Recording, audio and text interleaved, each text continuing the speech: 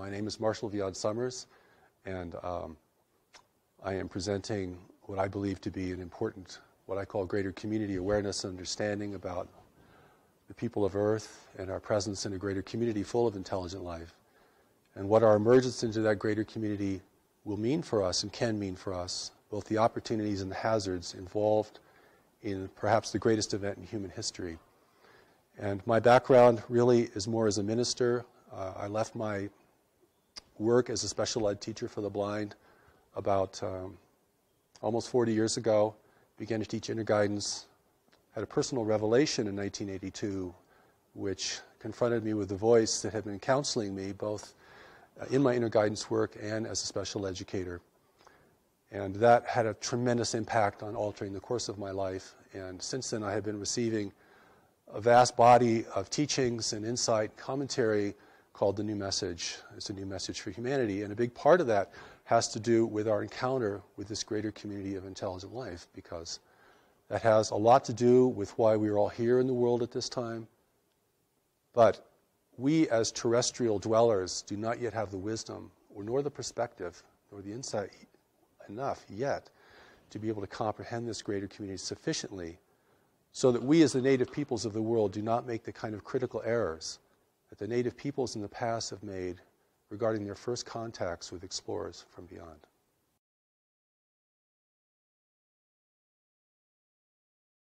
Uh, I consider the voice of the voice, the primary voice, to be an angelic voice. And it was this angelic voice that began to speak to me in my work with uh, blind children.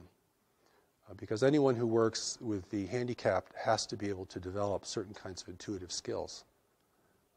You can't go by the book if you're really going to teach young people how to be independent livers or live independently.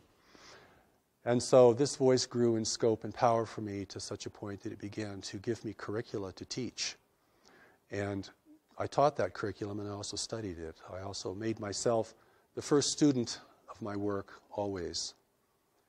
And this built up to such a point that I had an epiphany of my own because certainly that voice isn't here simply to make you feel comfortable or to make you happy, but to ask you to do something significant and to engage you in serving the world beyond what you had considered to be possible or even preferable before.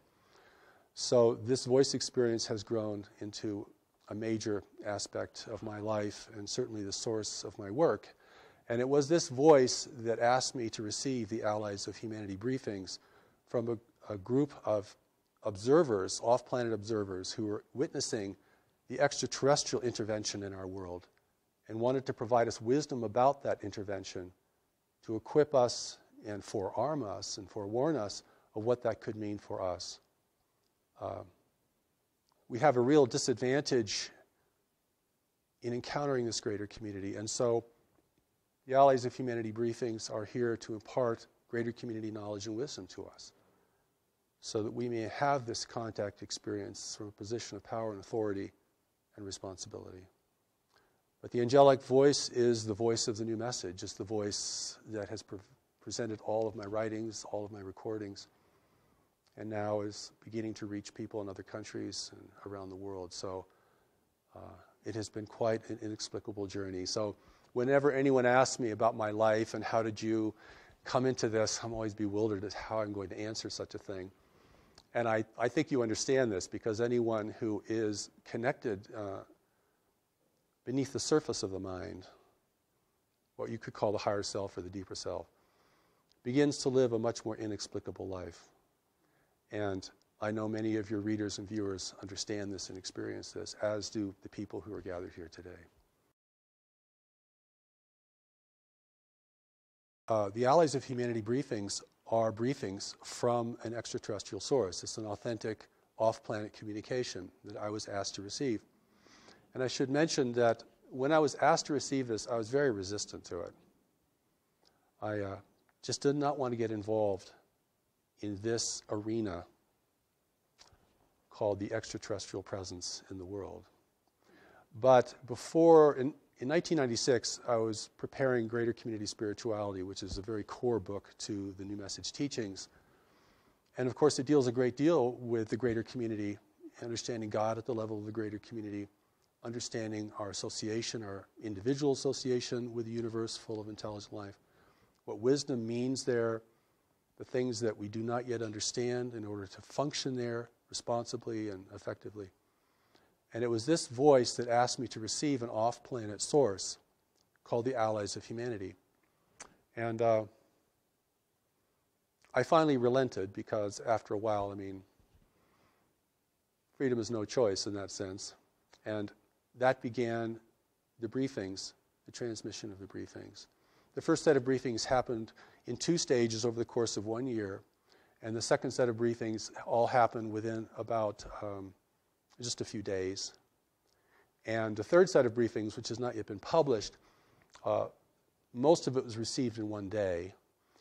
And then last February, I received the final chapter to it. And there's a story behind the Allies which is pretty interesting because they're really operating as spies here in service to us because they represent free nations in our region of space. And freedom is rare in the universe, and particularly in our region of space. So we know from our worldly experience that free nations uh, don't get along very well with unfree nations. And there's always a dissonance there and a difficulty. And so we are being, the world is now really being intervened by races who are here to take advantage of this world and of our position in this world. And the Allies' briefings warn us about this that this is premature contact, that humanity is not ready for contact. We do not have the social cohesion, we do not have the worldly wisdom. We're not prepared for this kind of engagement with races who can be far more clever and effective than we are, and who can exert much more control over the mental environment a reality that we're only just beginning to understand. And so the briefings are really here not only to warn us, but to encourage us. Because what I see in the world today is that individuals and groups of individuals are losing confidence, not only in themselves individually, but in human institutions, human leadership. And of course, we all have good reasons to doubt human leadership. But this erosion of confidence in ourselves and one another sets the stage for the kind of intervention that is occurring in the world today, which is not a military intervention. It's an intervention of persuasion and dissonance, and it's manifesting itself in different ways. And so it's very important for us, particularly for people who have a spiritual grounding, who are focused spiritually, because we can make some very critical mistakes in assuming that whatever happens to us is the right thing to happen to us. You've heard these kind of platitudes. Uh, we're right where we just need to be. Um, God gives us whatever we need. We can handle whatever happens. These are the kind of ideas that can really get us in trouble in engaging with the complexity of life, even as it's manifesting in our world today. Well, I'll hold this in contrast to the experience of the angelic presence, which is a tremendous presence. In fact, for me, it was so tremendous that when I really was able to face it completely, it had a kind of devastating effect on my life. It wasn't a sweet and comforting kind of experience. It was more like being blasted by radiation, and uh, it certainly created a shift in me. And so I hold that kind of experience, which is a tremendous experience presence, will fill the entire room. You can't think of anything else, you can't do anything else. I mean, it's overwhelming.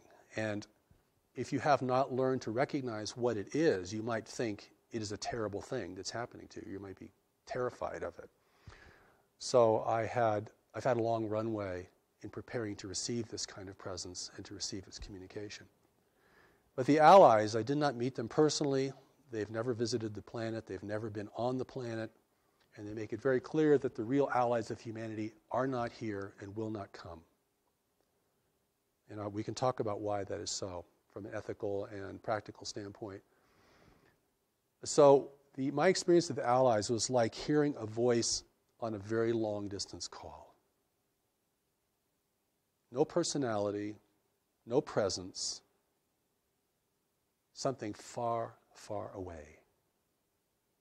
Because they were far away. I mean, even, even positioned in our solar system discreetly as they were at the beginning, uh, they were still very far away.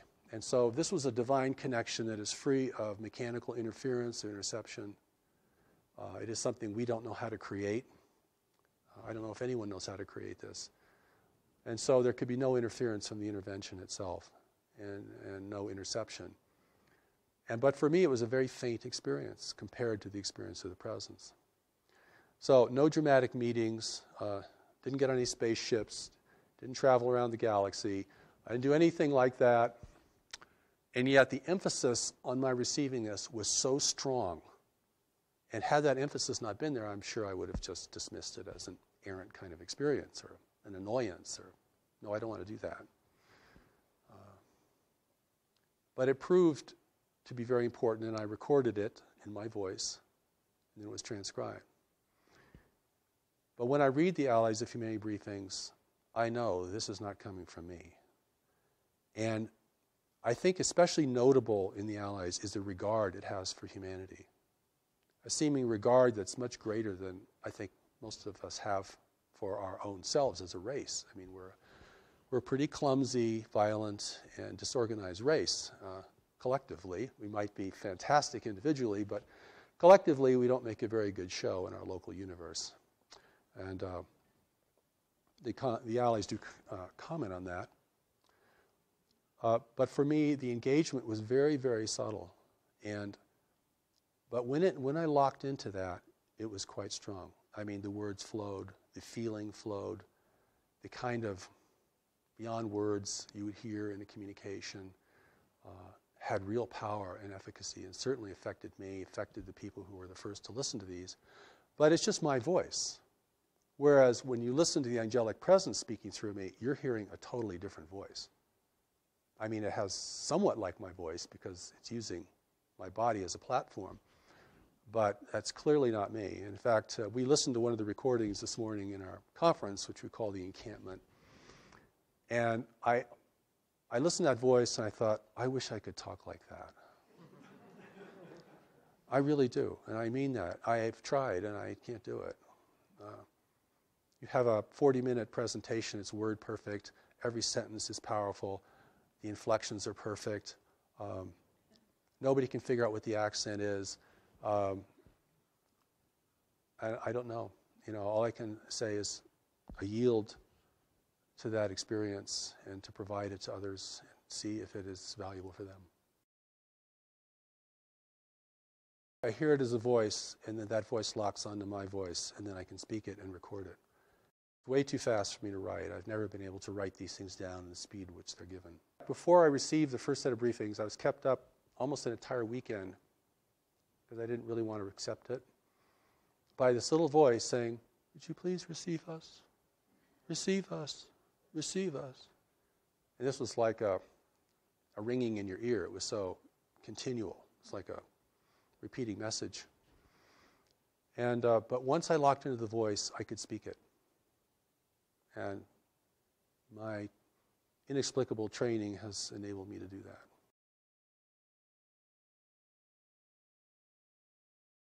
Completely different. I couldn't, the contrast couldn't be greater.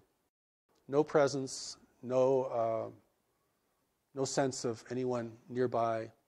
You're hearing something very, very distant. No, it's like it's coming through a tube, like someone speaking through a long tube. And uh, and that's one of the ways that I knew that it was something very different. And that's why at the beginning I was resistant because I just didn't want to deal, I kind of want to deal with voices I don't know. And particularly if they claim to be off planet and physical and things like that.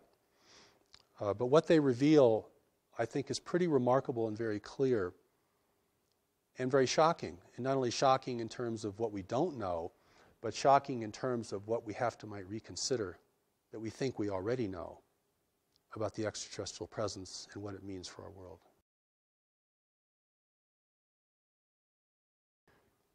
Uh, first, they want us to know that there are free races actually out in the universe. Um, and that the universe is governed by nature and no one has been able to overcome nature.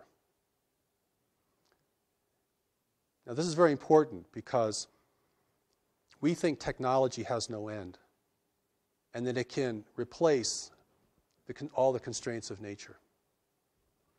And they make it very clear that the more advanced a race is technologically, the greater its need for resources. The more it has to be engaged in complex arenas of trade, the more it has to be uniform and undemocratic, and the more it's actually uh, vulnerable to having access to what it needs from the greater community. And we live in a highly populated part of the universe where there is not a lot of frontier, where there are very strict rules of trade, a great deal of control over territory. Um, it's not the Wild West out there, free for our taking. And war has been suppressed in this region of space, conquest is suppressed. Um, so, if you want to gain influence over another world, you have to do it through other means. And the other means have been cultivated to a very high degree. We're talking about persuasion and deception. Okay? And here we are, the native peoples of the world, thinking that we're in the center of the universe, that if anyone would come to visit us, they would come to help us, most naturally, because we are so important to the cosmos. And, you know, uh, we, of course, want higher technology because we want power. And we have problems here we can't seem to deal with global problems, resource depletion, climate change, uh, political corruption, a growing uh, dissonance between nations over who have access to the remaining resources of the world, just one example. And so we feel very needy of help. See what I'm saying? And so the Allies briefings make it very clear that those who are in the world today will present themselves as agents of change and beneficial change for humanity. The world cannot be militarily overtaken because it would destroy its value. None of the races visiting our world can live here because of the biological hazard. So they need human assistance. They need us to use the planet the way they want it used and they'll even use all of our infrastructure. And the reason that this is new and not ancient is because only in the latter part of the 20th century have we created an infrastructure that foreign races can utilize. The native peoples couldn't do anything for them. Okay, well, what about the times of Atlantis? The earlier, the world's been visited throughout its history. There have been attempts to colonize the planet. They've all failed because of the biological hazard. And biological hazard is a very big deal in the greater community, and I, we can certainly talk about that if we have any time. And I think the, the Allies' intention is to warn us that there are different races of beings here, but they're all part of an intervention. And there are competing groups here in the world. And they're multiracial. So we may see them in different forms, and they can certainly project forms. Uh, I don't mean that mysteriously, I mean that technologically. I mean, they can project images into, holographically into our environment. And they will use our aspirations, our greed, our corruption, our uncertainty, and our insecurity to build their importance. And certainly, even at this point, they have enough human representatives and apologists in the world that will promote their importance and the idea that humanity cannot make it on its own, that our leaders are incorrigible, that our institutions are too flawed to be redeemed, and that we must have their health and their brilliance and even their spiritual enlightenment in order to redeem ourselves and to take care of our world in the way that we might aspire to. Now, what we don't understand is what constrains the intervention. Uh, people say, well, if they want the place, they should just come take it. I mean, if if they're not taking by force, it means they, they're probably not violent or they're probably not uh, here to harm us in any way. But see, there's so many missing pieces to this puzzle that we can't add that I think the briefings attempt to add in, in the most clearest and lucid manner possible. I mean, uh, you know, your 10 year old could read The Allies of Humanity and, and get it. Okay, so it doesn't require a highly sophisticated notion of, of dimensions or dimensionality or uh, spiritual dimension or political astuteness in order to read the Allies briefings and realize what they're telling you. Is they're telling you you're facing a subtle invasion that is not here to destroy you, but to utilize you, and will use your strengths and your witnesses and your adaptability to this world, which they do not possess, in order to establish their own agenda here. All they can do that is through genetic manipulation. But even genetic manipulation is a very time consuming and difficult task. Um, and that's why the intervention has taken a very slow pathway. It just happens to be the most effective way to in, ingrain yourself in the consciousness, in the biological reality.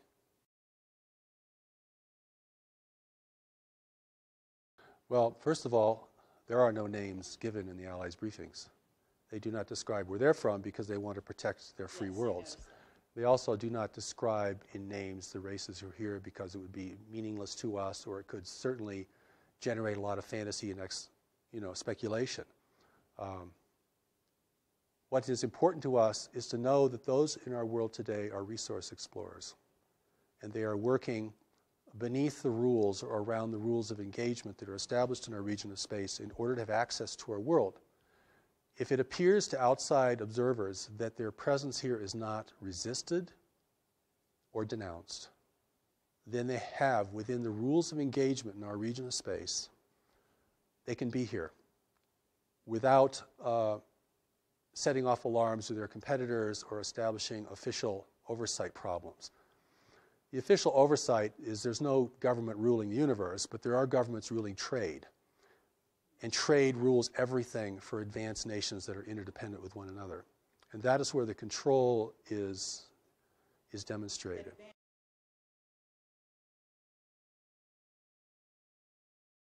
You know, I, whenever I talk about this, I have to kind of paint a picture in the background because uh, the picture is very different than what most people think today. Um, we either think that the off planet intelligences and races are either very demonic or very angelic.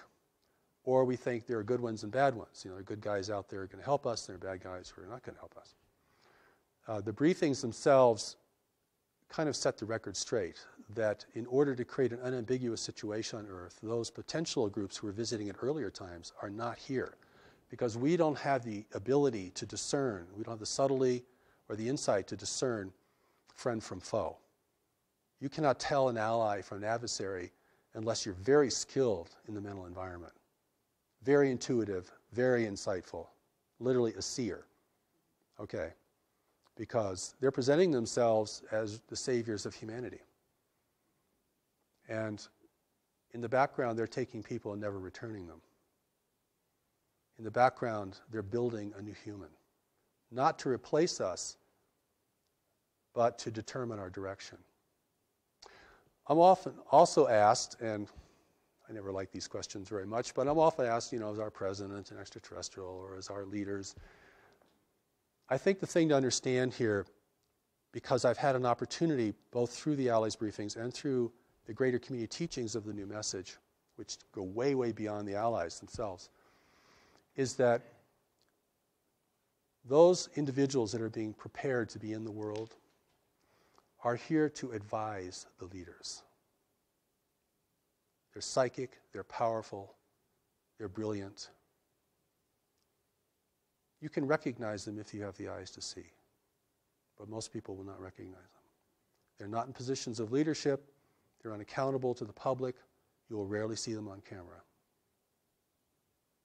This is how an intelligent race gains ability and influence and control without the people knowing it.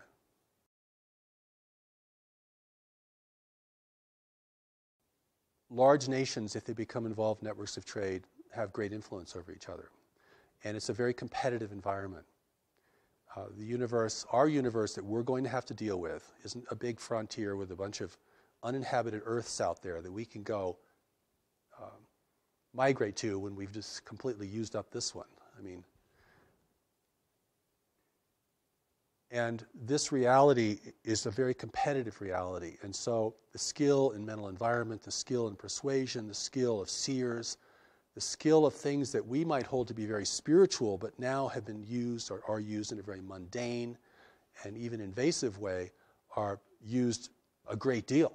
I mean, once the rules are established, everyone figures out a way to get around them, or to skirt them, or to operate within them effectively.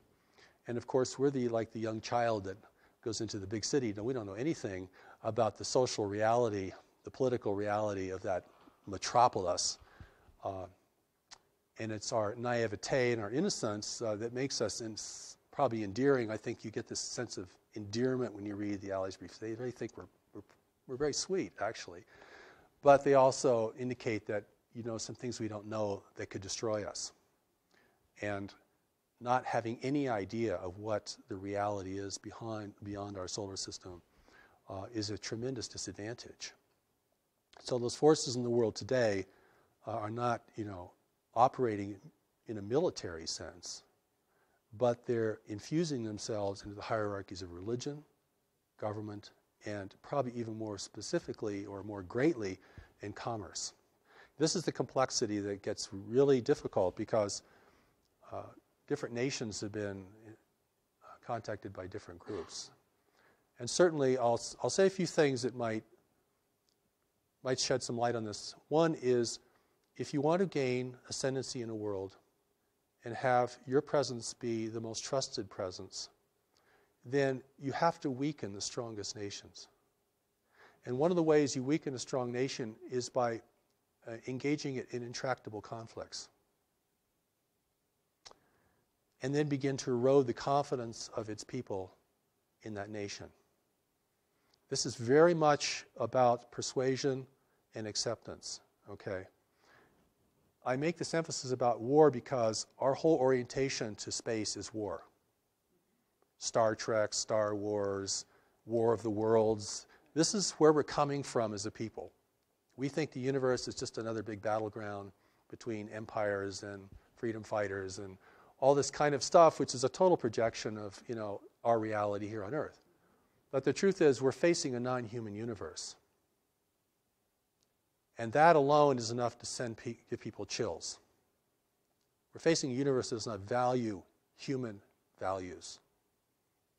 But we're also facing a universe that, like every other creature, requires resources to live, has to deal with competition, has to deal with provision, has to coexist with others.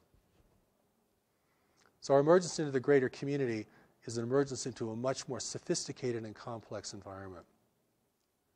And we're going to emerge into this greater community because we can't stop. It's happening, not because we're going out and finding out what's out there, but because what's out there is coming here. Not all of what's out there, but some of it. The briefings also indicate that there are very few worlds in the universe who know of our existence. Because those who do know keep it a secret. fewer competitors. You know, it's in the, this is the Allies' briefings talk about this as well as the New Message Greater Community teachings, is that we're following a very, a very normal path of self destruction. That most races that become technologically endowed begin to outstrip their world's resources and are usually engaged the greater community not because of their explorations, but because the greater community arrives offering gifts with its secret plans. And that's how the inducement, that is the inducement. The inducement is not just to be a conquered people because we'd resist. And if we resist, they couldn't function here and they destroy the, the value of this world. But if we can submit, and if our desires and our ambitions can be enticed, then that's the best weapon there is is to make the enemy drop their weapons and join you according to the, to the engagement that you present.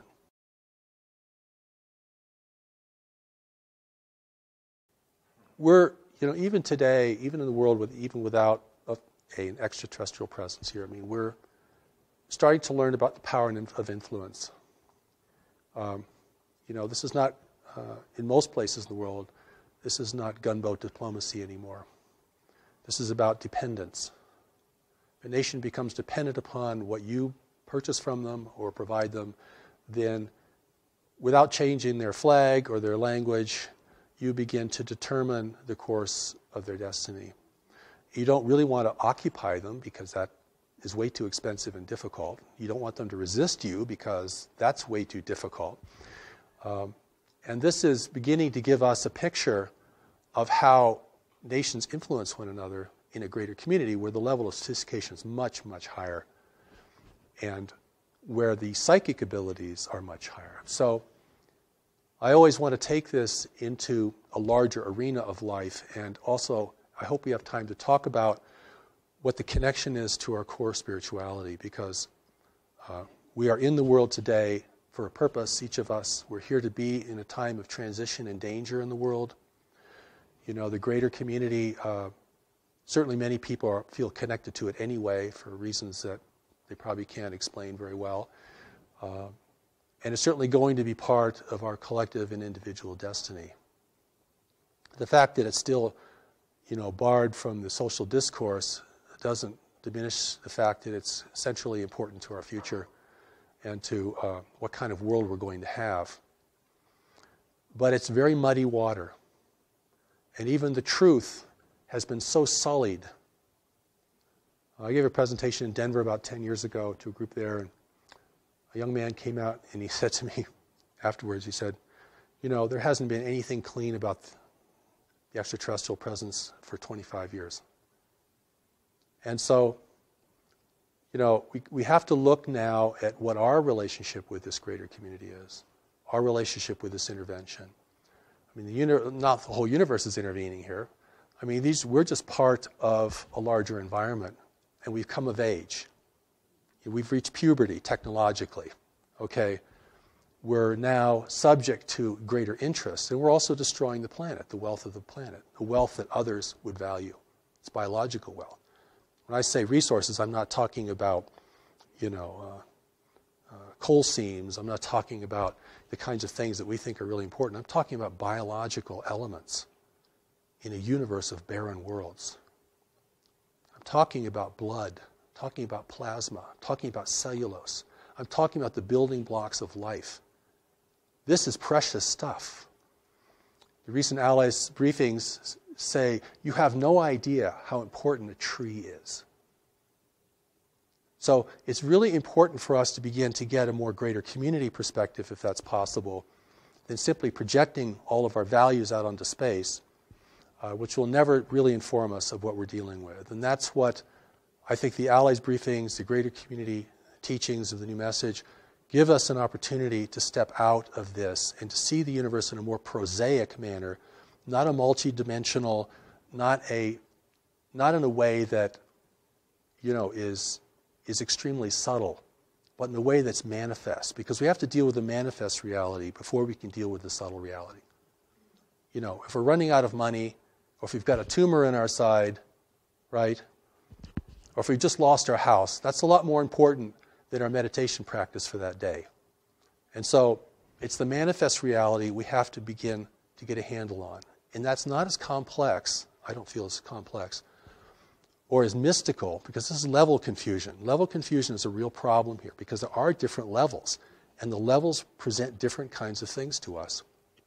But if we miss the fundamental level, that we're the native peoples of the world, encountering resource explorers that we know nothing about, whose intentions are never revealed, whose activities are surreptitious, whose impact upon people is generally destructive and manipulative, then we have to deal with it at that level primarily if we're going to be a free race in the future. If we can't deal with it at that level, if we get lost in the dimensionality of this whole phenomenon, which is big, uh, we're going to sell the world away or give it away. And we're going to do that. It won't be taken from us. That's the, and that's the difference. You see, this is where human responsibility or ability to respond becomes critical. In the New Message teachings, one of the important things about greater community spirituality, spirituality of the universe, is this reality of knowledge. Because, and I'm going to use this word in a different way. I'm not talking about information or book learning or you know, what we learned in high school or the university. I'm going to talk about knowledge as a deeper mind. We can call it higher self, Christ self, Buddha self, whatever. This mind operates beneath the surface of our worldly mind, our intellect, which is pretty much totally conditioned. I mean, you're never going to totally recondition your personal mind. I mean, it is thinking how culture thinks, it is thinking according to our biological and social realities.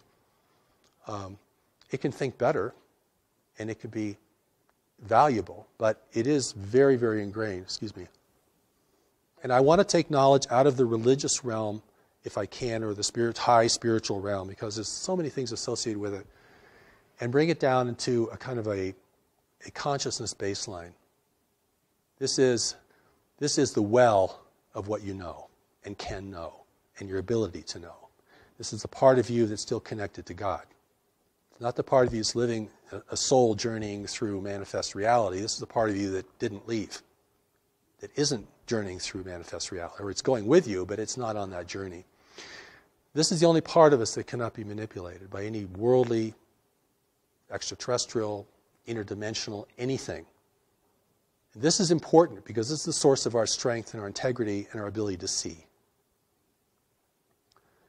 If that is not if that does not become the emphasis of an evolving humanity, then we will we will be seduced in mass.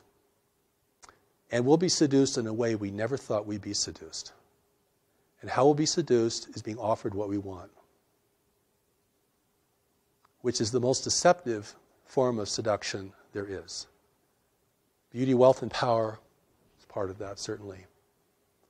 Um, and we're very primed for it. I mean, as the world becomes more disorderly, as resource depletion continues, as nations become more fractious with one another, and we're entirely able to make our own war, by the way. We don't need any help from beyond to do that.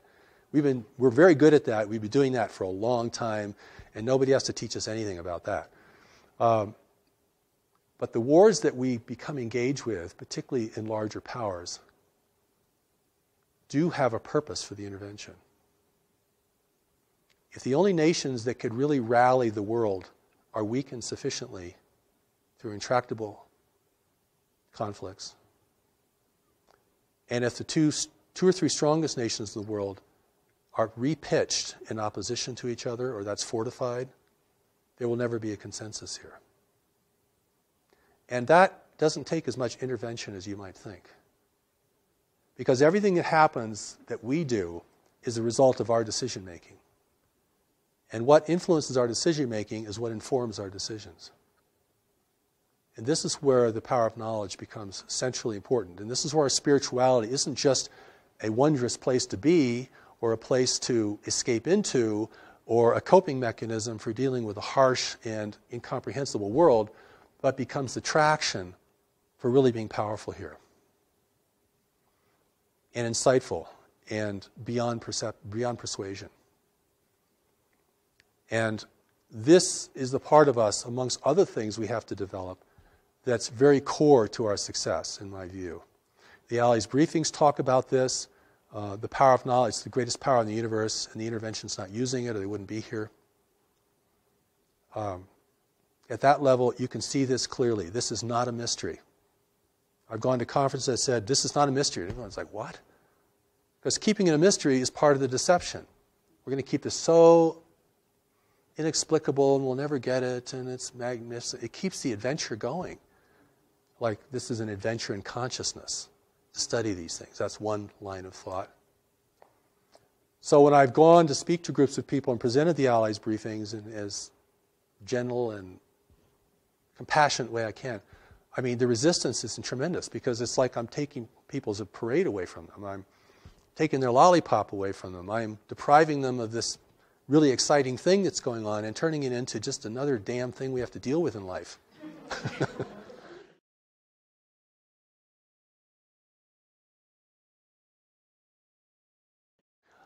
I'd like to talk a little about God because God is a part of this.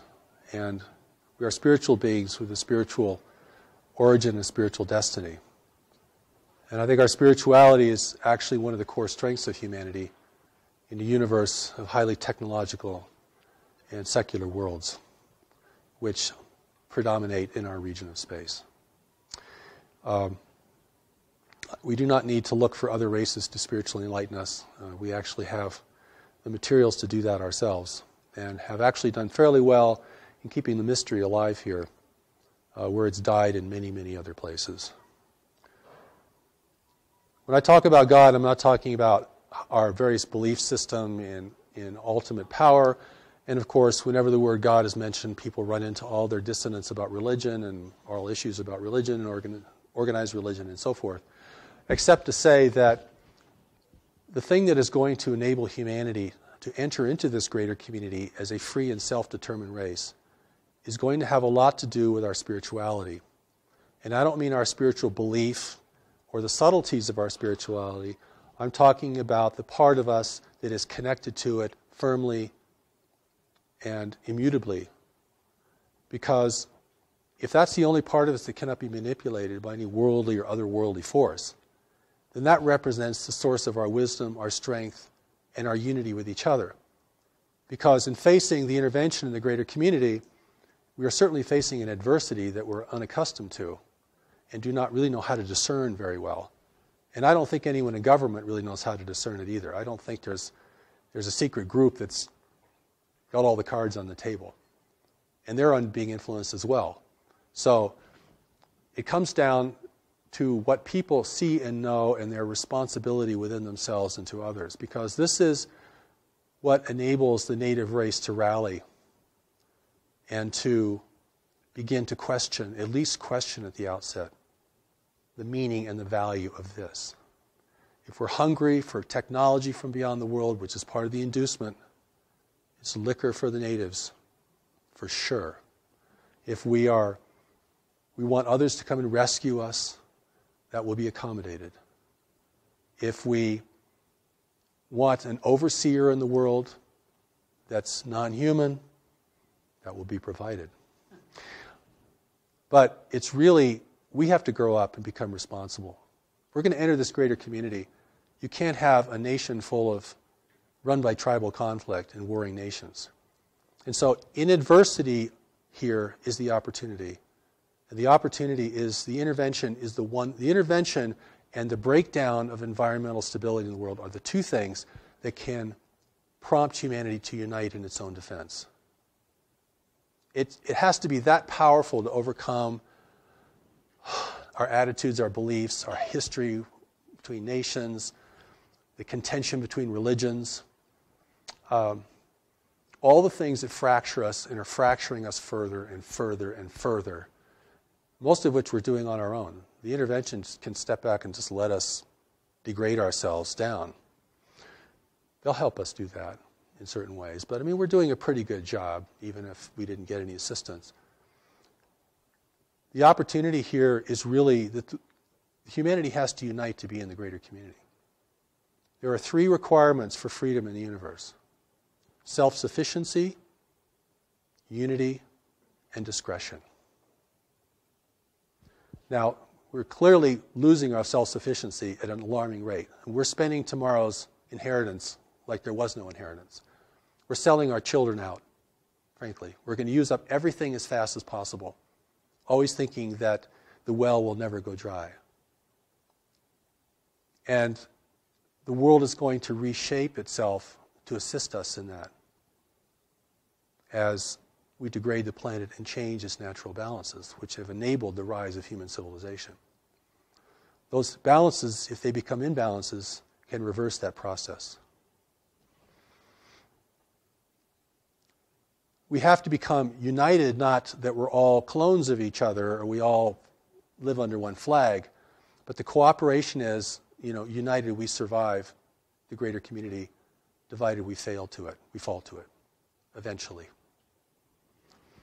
And the third is um, discretion. We're broadcasting out into space our wars, our foolishness, our comedies, our tragedies, everything. Discreet observer may never understand our nature, but they can certainly understand our tendencies and behavior. That will have to stop. Free nations do not broadcast, except to each other in ways that are very safely encoded. The price of freedom in the universe is unity, self sufficiency, and discretion.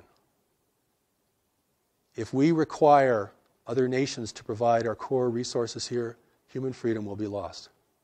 I don't care what your political persuasion is, what country you come from, what your religious belief is, what inner voices you listen to. It's, that's the name of the game. I mean, I've spoken uh, to conspiracy groups uh, before, and you know, human unity is just a big flag. It's a red flag.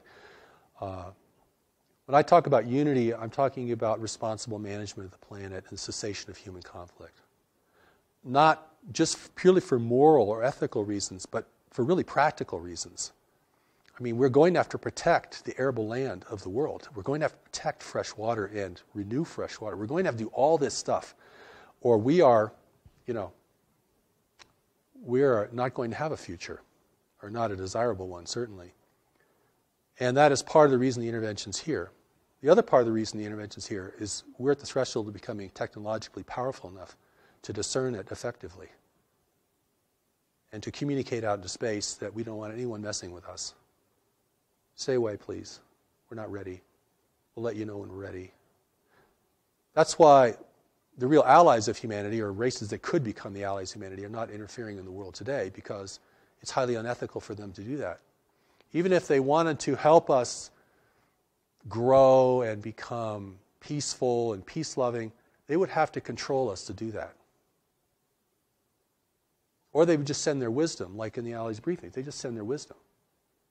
They're not sending, you know, uh, advisors down here to encourage us, persuade us. See what I'm saying? There's a big difference between sharing wisdom with somebody and beginning to control their life or trying to control the life or the outcome. Um, I don't consider the intervention to be evil. I think it's just self interest in the universe. And we have things they need, and they really need them.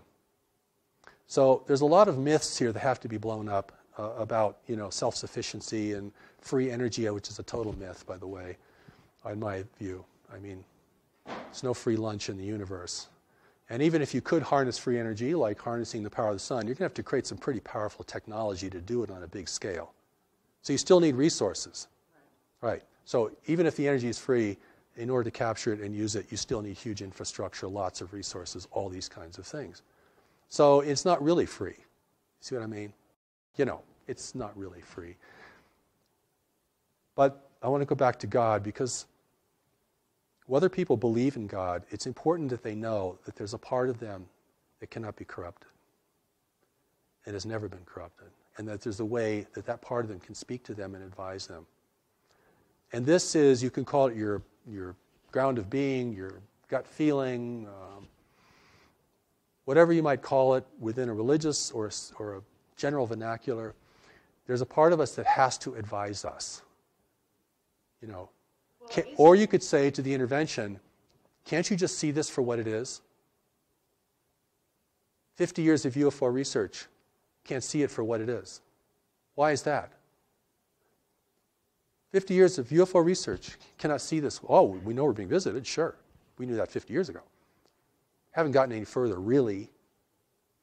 We got lots of sightings, got drawings and radar and tons of speculation and lots of kind of science, pseudoscience, all kinds. But can anyone say, what is this?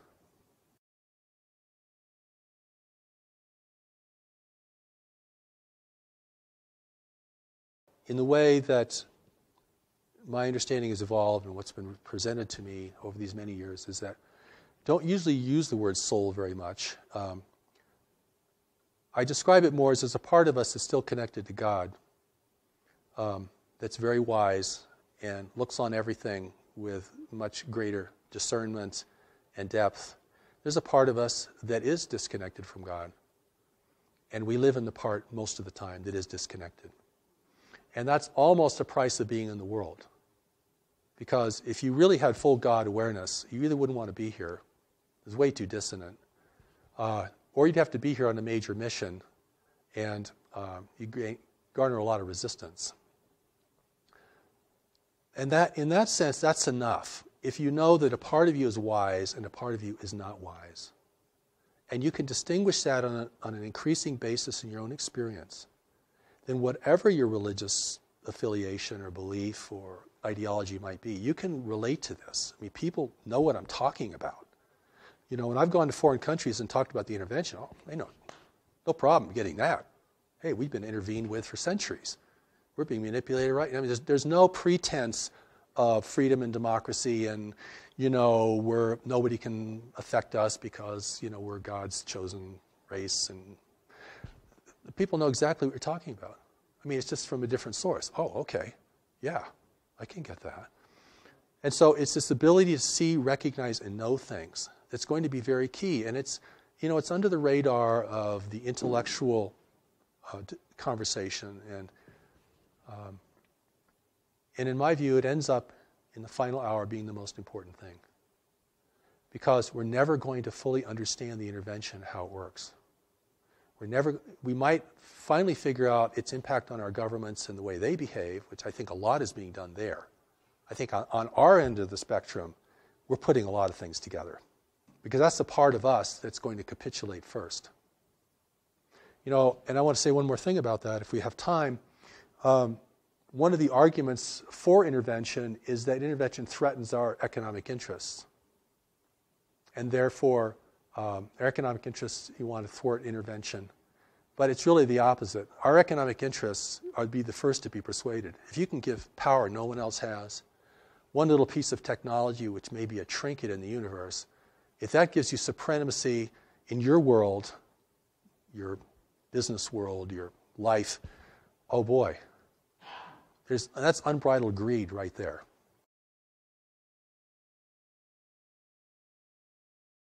Well, I don't think it's a done deal because there are elements in our government. This is what the Allies talk about. They don't really talk about our government because they don't really know much about our government, except that we transmit everything. Even the government transmissions can be, somebody could sit out there and read just our entire script, you know what I'm saying?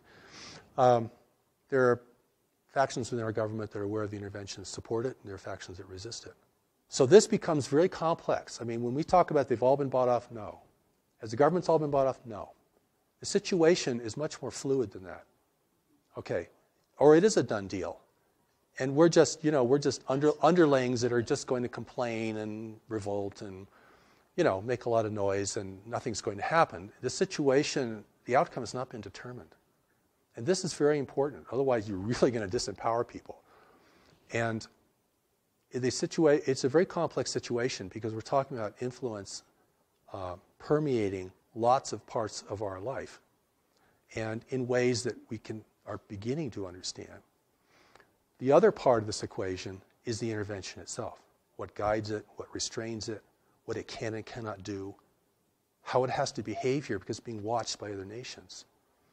And so, if it appears, like I said before, if it appears that we are tolerating, at least tolerating its presence, if it appears that we're accepting and benefiting this presence, then it looks like we are granting them permission to do whatever they want to do here.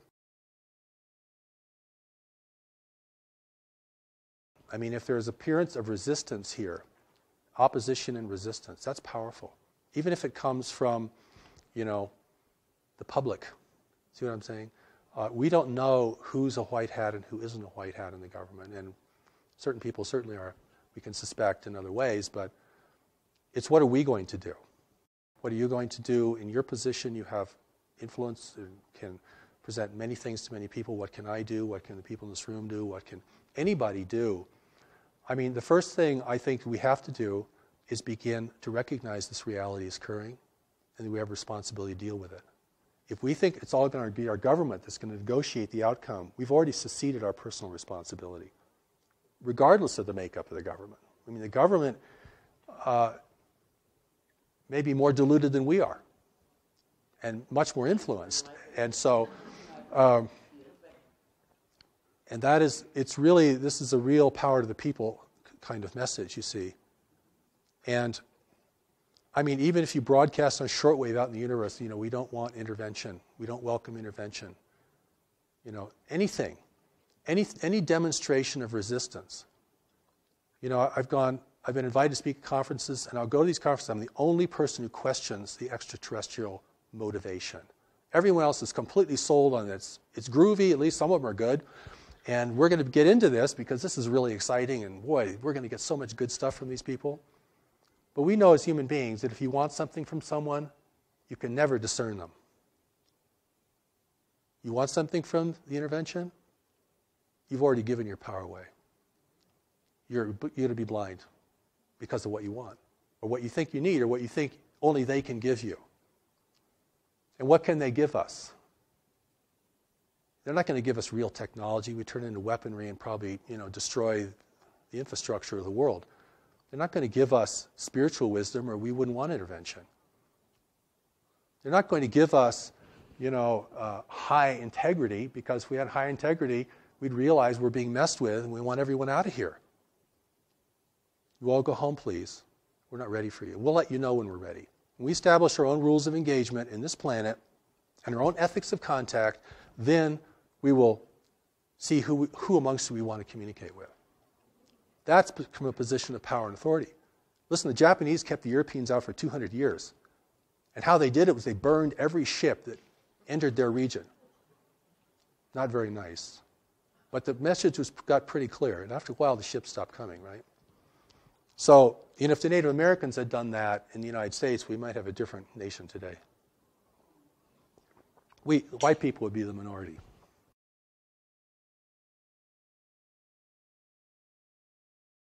I would say that we can be ready and we're not quite ready. We have the resources to be ready. We know more about this planet than any other race in the universe. We're the only race in the universe who could survive here successfully without a great deal of adaptation. Uh, we know more about our nature than any other race in the universe. We know more about our history and our tendencies than anyone else in the universe. And that if other nations want to help us, they should share us their wisdom about what life is really like and the pitfalls and dangers of being of functioning in a greater community. So my emphasis through all of my work is to empower people to be strong, effective, and compassionate. And but we're going to need strength. I, I put that first because you can't be messing around in the face of the greater community. This is big time life. And we're still, you know, we're still in a very adolescent phase collectively as a race. I mean, we're still very indulgent and foolish and we don't, we're not responsible to the future. You know, we're not, we're not saving resources for the third generation out. I mean, we're using up everything. So uh, I think the change in that is a change, not just a change of understanding, but a change of heart to realize we are the stewards of this planet. If we want to continue to be the stewards of this planet, individually, we're going to have to learn some new things. And we're going to have to become really strong and honest and effective in our lives. And this is about individuals now. This is not about going to change the government. I think that's pretty hopeless at, at, as the first step. Uh, we're not going to get them to divulge their information because if they ever do, it probably wouldn't be whole or complete anyway. And so but we do need to learn about the greater community itself. We do need to learn about our personal strengths and responsibilities. We certainly all have to get our own house in order, personally, individually. And that's kind of the, you know, that's a great starting place, of course. But, you know, humanity can never give up. And the intervention is either here to win us over or discourage us from resisting. That's the power of persuasion. And I look around, I see, you know, many people are on a downward spiral. They're losing heart, they're losing faith, they don't know how to handle their life. They're getting very discouraged by what they see in the world around them. Um, their own sense of inadequacy can overtake them. So, you know, you have to build the person up. If you want to take them into a battle of who's going to control this world in the future, and this is a battle at another level, all right? This is like warfare at another level. Okay, we're not going to be clubbing each other over the head. But we are, we are going to be determining, you know, what has power and meaning in the world. And that's why, you know, in my work, we present the steps to knowledge. It's available online. You can go read the Allies of Humanity at alliesofhumanity.org. Go to newmessage.org and study steps to knowledge. Putting tremendous things available so we can reach people not only in the Western nations, but all around the world. And uh, something like 60% of the planet has access uh, to cell phones now. You know, it's just, it's amazing. And so that, that education orientation has to happen because no one on earth is going to win if an intervention is successful here. there are no winners amongst us. The profiteers will be subjugated just like the rest of us in a controlled world. And, you know, we're rich or poor, whatever our race, nationality, you know, we're in this together. This is our world. And we're going to have to really re earn the right to have it be our world. We're going to have to clean it up. We're going to have to build kind of networks of cooperation, even just to do that. So I'm talking about something very expansive, and very complex, but the incentive has to be there. And the incentive isn't just for wonderful things, the incentive is also the fear of failure, because we can fail. And there's nothing wrong with being aware of that. You don't have to be terrified of the world to be aware of that. That's just a reality that we know we can fail. And if we understand that correctly without denigrating ourselves, then we know we have the power to rise to occasions. And certainly there could be no greater occasion than this.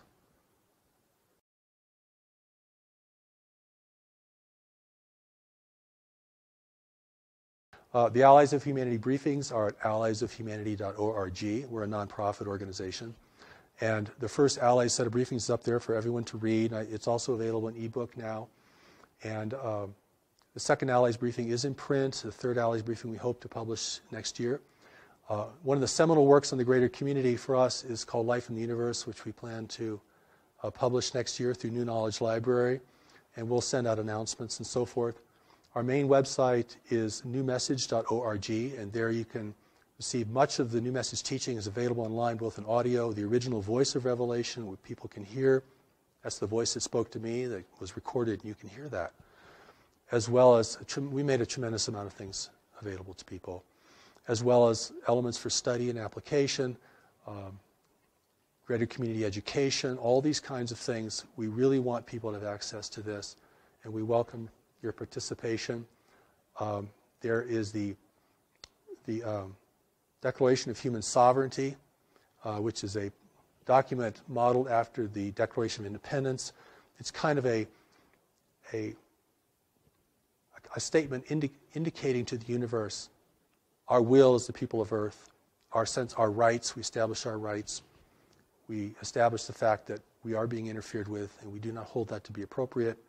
And the the kind of engagement we would like to have with other nations uh, who are interested in us.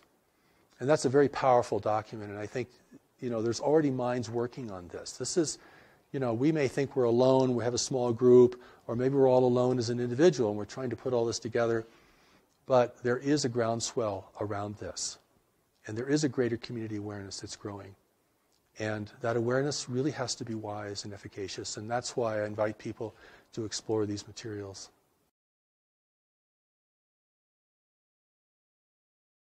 I'll deal with the prosaic first, and um, the things that we can all touch upon is the fact that food, water, and energy are declining resources in the world, and will be increasingly so. And those things, which seem the most ordinary kinds of things, may in the end prove the most difficult for us. Certainly, uh, earthquake activity is increasing. Volcanic activity seems to be increasing, from my understanding. And, um, but I think the thing that's going to create tension between nations and in communities and within our own personal lives is going to be really the fundamentals. And the fact that when you look out on these beautiful mountains here, and I don't know if your camera can take any of that in, you're going to look at a dying forest. That's a dying forest out there, beginning to die. That's because the planetary climate has changed only one degree Fahrenheit. That is enough to unleash forces that I'm not sure anyone could foresee. Uh, maybe people did foresee that, that in the western United States alone, we've lost 40 million acres of trees from a very slight variation in our climate alone. That and the availability of water, clean water, the growing aridity of the world, particularly in highly populated areas such as Africa, the Sahel, the Middle East, Southeast Asia is having a critical water problem. These are earth changes that should, are really, these are big things. This is a four alarm fire, actually. The other background things of increasing volcanic or uh, seismic activity is, is going to have its impact as well.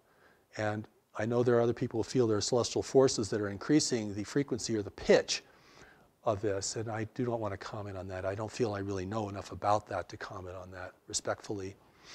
But clearly, the, the pitch of the world, the intensity of things is escalating. And even if you come to a beautiful place like in the Rocky Mountains here, you can feel that escalation. I mean, young people are committing suicide and you know, capitulating into drugs like never before. I mean, people, this isn't just uplifting people, this is also wearing us down.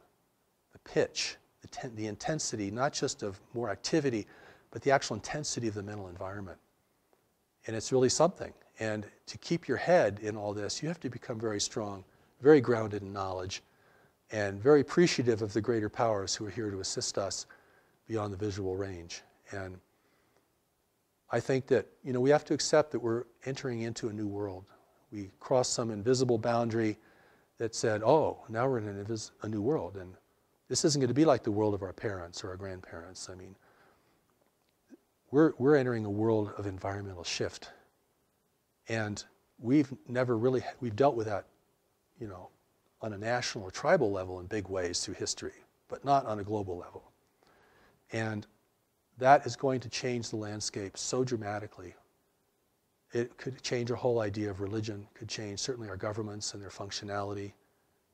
It will be a great incentive to war, even without foreign persuasion, as a growing number of people attempt to drink from a slowly shrinking well. And the only way that you can prevent chaos and decline is by a growing sense of unity and compassion and the awareness that we're in this lifeboat together, this lifeboat called Earth.